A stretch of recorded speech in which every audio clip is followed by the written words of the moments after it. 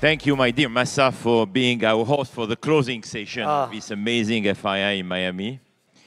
Uh, I don't think Masa need any introduction, but please, uh, since we have many people also watching, Masayoshi Son is the representative director, corporate officer, chairman, and CEO of SoftBank a Group, a strategic investment holding company focused on driving the AI transformation, information theory revolution, founded in 1981.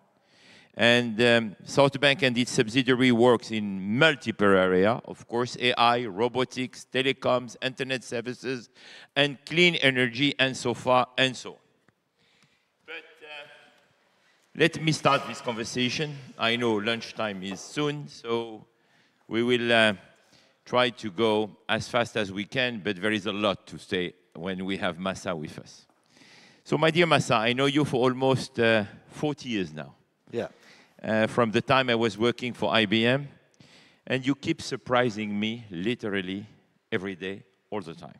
Oh, no, no. So, what is your magic to bring uh, and to keep together a diverse coalition of partners on massive projects like the one you just have announced with President Trump, the Stargate? So, how did you, how were you able to do it? Well, uh, first of all, I always feel that I have not achieved anything yet. Uh, I'm very ashamed of myself that I have wasted my time for so many years achieving so little. But my dream is big. My passion is big. I'm a small guy physically, but my dream is big. We'll come back about that. You, Harvard Business Review just wrote something about you. No, no. I, I, so when your dream is big, you are always humble, you always are hungry, you always wake up in the middle of the night and thinking about the solutions. So that's where I am now, still uh, working uh, with passion to make things happen. And I think timing is really coming now. Now is the time to go big.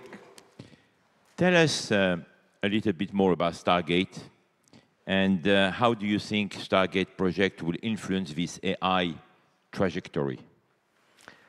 Yeah. First of all, let me give you the big picture. Okay. Uh, Stargate will provide more chip, more compute. So how much more compute, how much more intelligence would there be? Stargate will provide at least 10x chip, number of chip per year. So let's say we provide 10x more chip. Each chip will be about 10 times more compute capability per chip. So 10 times 10. And then each model introduced by OpenAI become about 10x more capable. So 10 times 10 times 10. 1000x in one cycle. A second cycle coming every 12 months to 18 months. So second cycle comes, 1000x times 1000x. That's a million x. The third cycle comes, that's another 1000x. That's a billion x. So now you know already OpenAI's uh, O3. O3, model O3 passed the exam for PhD on every subject mathematics, physics, you know, uh, medical, law, and everything. So I don't know how many of you can pass PhD on five subjects. Even one subject is not easy. Okay? Five subjects by, by one person is super difficult. So I think in a way already What is the definition of AGI? Already it is so smart. But just imagine that intelligence passed the exam of PhD, becoming a million X in two cycles, a billion X in three cycles, and three cycles is coming in just several years. So if you think, oh, Gen AI still has, you know, some uh, uh, mistake in understanding, blah blah. Oh, I am smarter than you, you know. Well, that thing you are looking from downward from yourself into Gen AI, but that little thing is becoming a billion x smarter.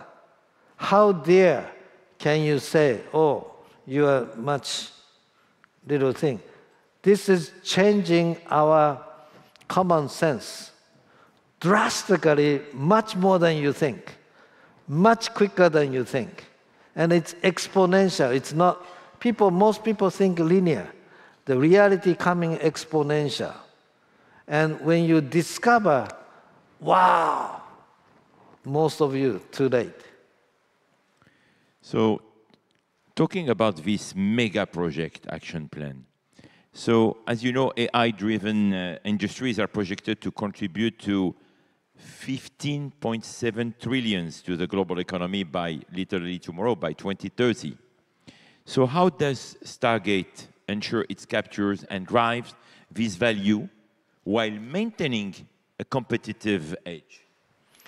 Yeah, well, competition is definitely becoming more and more stronger. So you have to go ahead, you have to be brave, you have to go all in. So some people say after the DeepSeek syndrome, right? Oh, you are overspending. Masa, you're spending $500 billion. You're, you're overspending, you know. You can save so much more by, by uh, uh, less spending. But I think you are looking at the wrong way.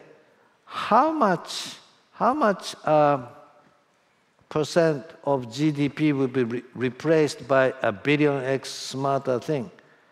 I would say at least 5% within 10 years, and that 5% is $9 trillion, or if it's 10%, it's $18 trillion. So somewhere in between 5 to 10% of today's GDP will be replaced by this super intelligence. Well, if that's the amount of return, you shouldn't be scared of spending a few trillion dollars. If return is 9 to 18 trillion dollar per year, why should you save? Why should you try to be efficient? For what? I don't get it.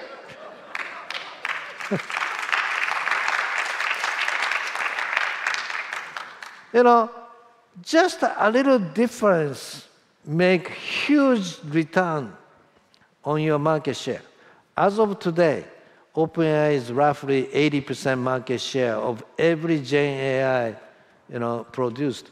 And OpenAI has 400 million active users per week now, which is 2x compared to several months ago. 2x. It's growing so fast. But you were talking about humility. So let's try to be humble. And, uh, and how does Stargate plan to stay ahead, I would say, of uh, more adaptive AI initiatives? What will be your yeah. strategy to always be ahead? Two things, okay?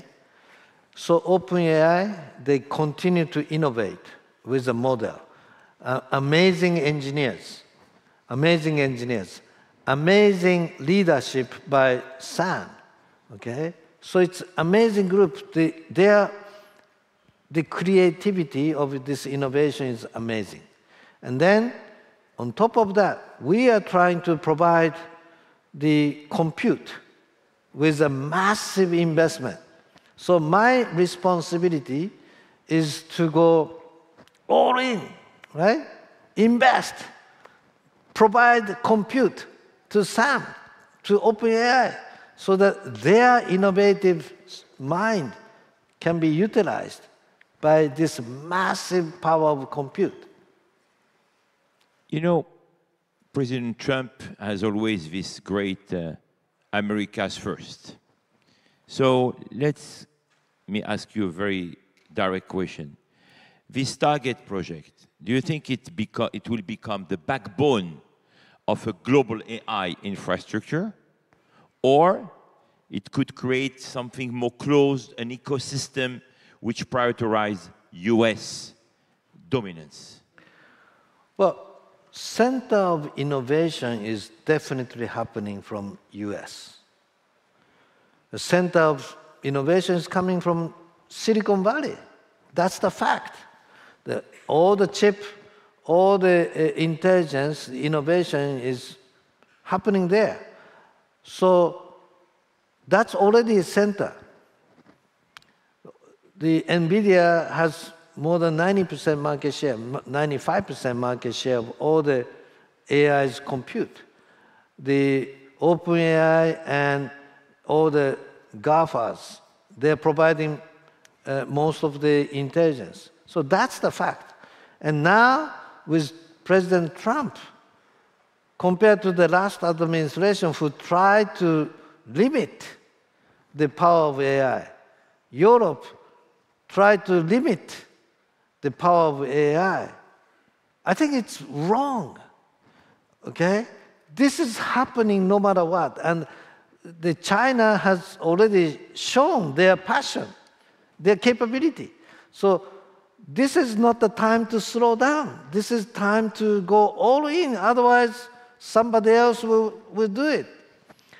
So uh, it's, it's not about America trying to take away the other countries' opportunity. The other countries like Europe or maybe some other country try to limit their own future by themselves. I think that's wrong. Before criticizing, why do you give up your own future by yourself?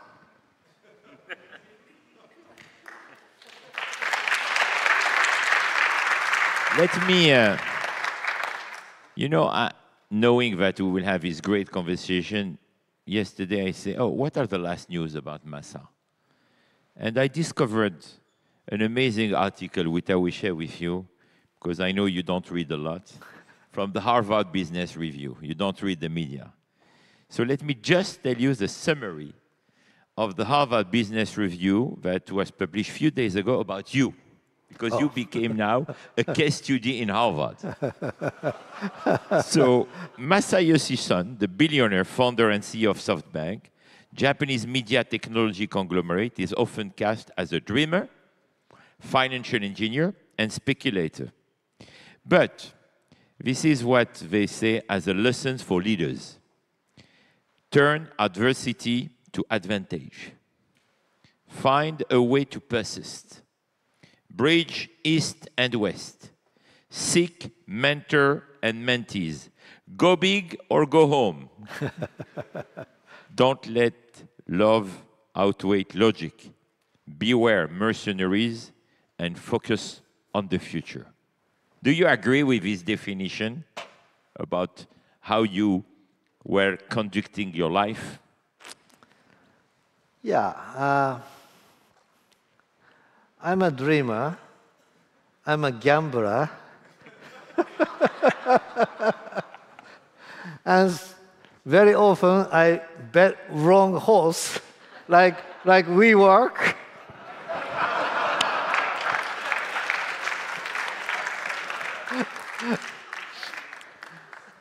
but, uh, you know, I learn. I learn from mistakes. And I would like to continue my, my spirits of challenging. So at least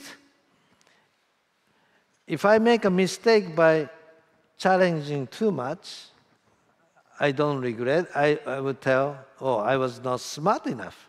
But I'm still challenging.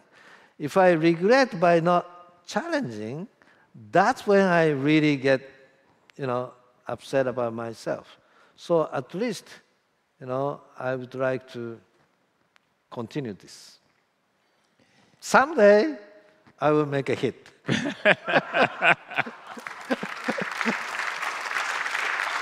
Talking about dreamer, we know another dreamer who is also a doer, who you know very well. His Royal Highness the Crown Prince Mohammed bin Salman.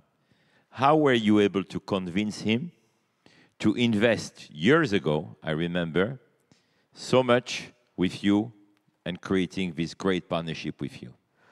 No, I didn't convince him. He already had the vision. He just needed to find somebody who shared the same vision. Another and, dreamer. Another dreamer. Okay? But, you know, he's so smart. He has a big vision. And I just happened to be at the right timing and uh, uh, get to know. And we didn't have to spend our effort to convince, as I said. He already had his own vision. We just met at the right timing. Masa, my last but, but, but I haven't still given him enough return. I still owe him, you know. I still owe him. Masa, last question. So many people are trying to enter in this AI. I would not say industry, I would say this AI world. What would be the advice to give to a young entrepreneur who would like to potentially shift from the current sector where he or she is working and to enter in the AI? What should be the first things to do and the keys to enter in the AI industry? Well, I have five grandkids, grandkids now, and my daughters ask, what should I tell to my kids? You know, they're six years old, 10 years old. Should, should I let them use, uh, you know, uh, ChatGPT, right? So I said, no, no. Don't let them use. Let them live with it. Breathe with it. You know, dream with it so that it become part of their life. And so don't try to limit or oh, how many times you can use, don't use it for homework, blah, blah. Don't limit any of those. They are native, native kids with AI. So let them live with it. Use as much as possible, as aggressively as possible, and be part of that. Let them, AI, be part of their own life. That's what I'm telling. And I truly believe that should be the case. It's extension of our imagination. It's extension, billion times extension of our brain. Why not use it? You know, there are still some part of the world, some country, some village with no electricity. The electricity was invented hundreds of years ago. And even today, there is a small village with no access to the electricity. What a difference in life. So if you have access to AI, this is a billion times more intelligence, you have to use it. You have to use it. This is how we will close this fantastic uh, third edition of FII in Miami. Thank you, Masa, for being with us. A round of applause for Masa Sison. And ladies and gentlemen, we hope to see you last week of October in Riyadh.